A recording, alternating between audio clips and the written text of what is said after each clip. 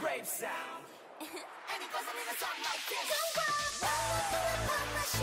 mbc 水幕剧医疗船制作发布会于二十八日下午在首尔举行。主要演员何志苑、姜敏赫李瑞源 aua 成员全民阿金仁植等亮相发布会现场。当日何志远身穿衬衫裙，大方利落，新打造的短发造型引人关注。A.O.A 成员全民阿明媚的笑容暖化人心，姜敏赫、金仁植、李瑞元等型男时尚帅气。医疗船讲述了不同境遇的医生通过搭乘船只辗转在医疗设施不足的小岛上进行医疗活动的故事。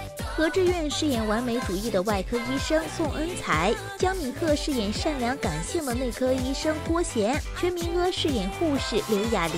和其他医疗剧以综合医院背景不同，这部剧以医疗船为主要舞台，在海上航行，去缺乏医疗设施的海岛村落进行医疗援助。新颖的主题和充满温情的故事备受观众期待。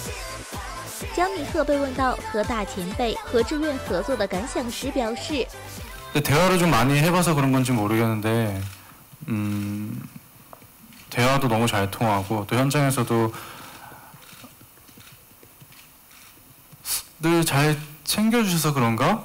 좀 불편한 것도 하나도 없었고 또 배우 활동 같은 경우에는 현장에서 워낙 감독님하고 어, 같이 있는 모습들을 보면서 저도 거기서 녹아드는 것 같아요. 자연스럽게 녹아들었던 것 같아서 누나가 직접 뭔가를 가르쳐주고 제가 뭔가 배우고 이런 것보다는 현장에 녹아들면서 자연스럽게 배우고 어, 녹아들었던 것 같습니다. 全民阿被问到 AOA 回归计划时说 아직은 미정인데요.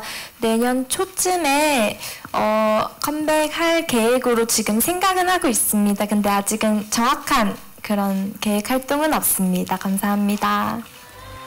何志远这次的短发造型格外引人关注。对此，何志远说：“ 그냥 이 시나리오를 읽었을 때 송은재라는 캐릭터가 단발머리 잘 어울릴 것 같다라는 이미지가 첫 번째로 떠올랐어요. 그래서 어, 촬영이 시작되기 한참 전에 그냥 과감하게 잘라서 이렇게 길들이 길을 좀 많이 들였고요. 그리고 뭐 샤워할 때도 너무 편하고 너무 좋은 것 같아요. 그리고 저는 그 은재가 거제로 떠난 것처럼 거주지를 옮긴 것처럼 저 역시 아 이사를 간 것 같아요. 그래서 아파트를 얻어서 지금 살고 있고요. 거기에 저의 필요한 모든 것들을 다 서울에서 갖다가 놓고 어, 서울은 오늘이 두 번째 올라왔는데 아직 집에 못 들어갔고요. 이제 끝나고 들어갈 것 같아요. 근데.